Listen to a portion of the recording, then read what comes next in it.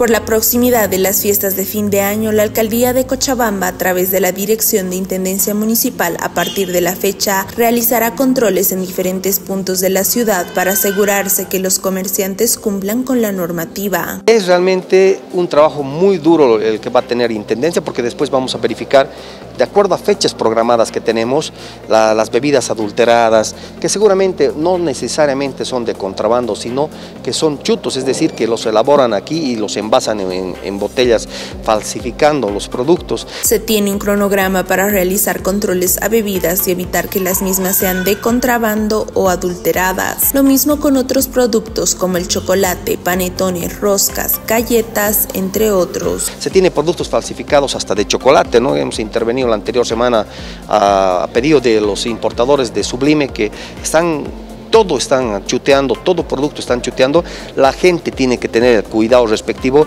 porque tiene que verificar su registro de SENASAC para que eso garantice de que ese producto sea elaborado de acuerdo a normas de higiene y normas de salud.